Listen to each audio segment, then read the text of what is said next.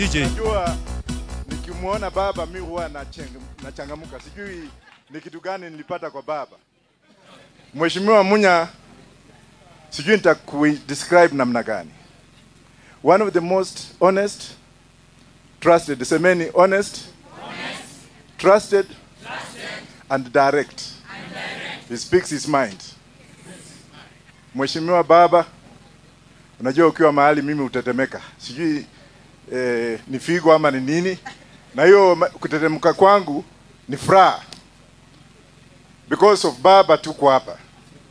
And because of baba I am alive. And because of baba hata wende ufanye namna hii kuniondoa kwa baba, we mwenyewe ndio utajiondoa.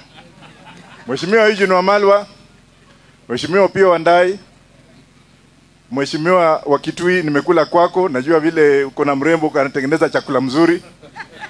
Ningependa kusema hivi, kwanza ningetaka kumshukuru baba na ningetema, ningetaka kukosoa pia, sio baba, na ningetaka kumwonya Mheshimiwa Munya kwamba ukienda Bungoma, ukienda Bungoma tafuta Eugene, ukienda Bungoma tafuta baba, ukienda Bungoma tafuta Wajakoya, manake kule kuna mkatili fulani kule, sitataja jina yake, ambaye kazi yake ni kulin, kungojea wale wanasiasa wenzake wakienda Bungoma, anatengeneza mawe na hiyo mawe anatoka wapi? Uganda, na anatengeneza watu na visu kwenda kupiga wengine na kuangamiza kule Bungoma.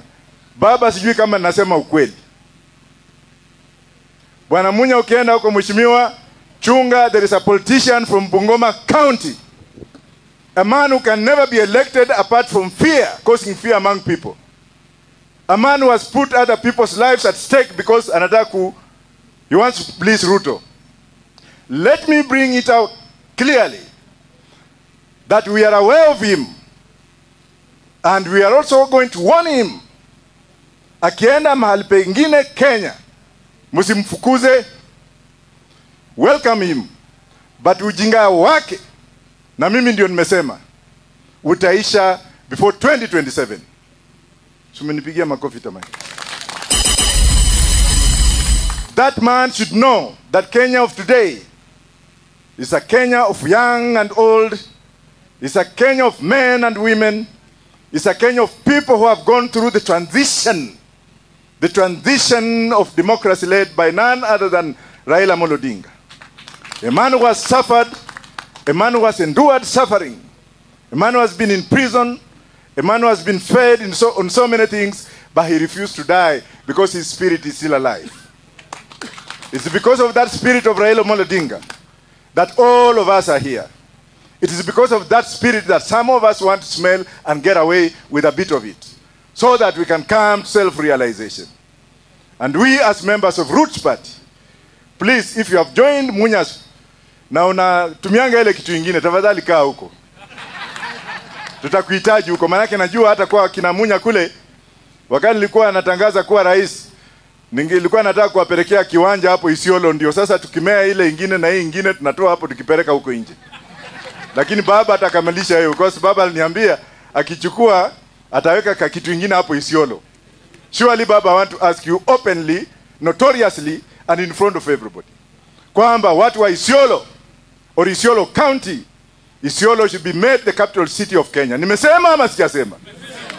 Na Nairobi should remain an industrial city because with Isiolo being a capital city of this nation, the people of Meru, the people of Garissa, the people of any other neighboring from Mount Kenya will have easy access to the international market.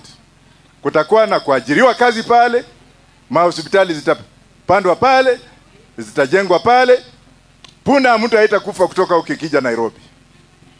Na hiyo mimi namwomba baba afikirie, because baba you are the president. Ilichukuliwa tu, lakini you are the president, na hii yote ni malilio ya watu wa Roots Party, ili Wameru mahali wamekaa Wakamba ambao wanatoka Eastern, Waria wote mahali walioko, na Waislamu wote ambao wako pande hiyo wawe na access to the international market because what they are producing today can help this country rejuvenate economically, we can move on because Nairobi is congested.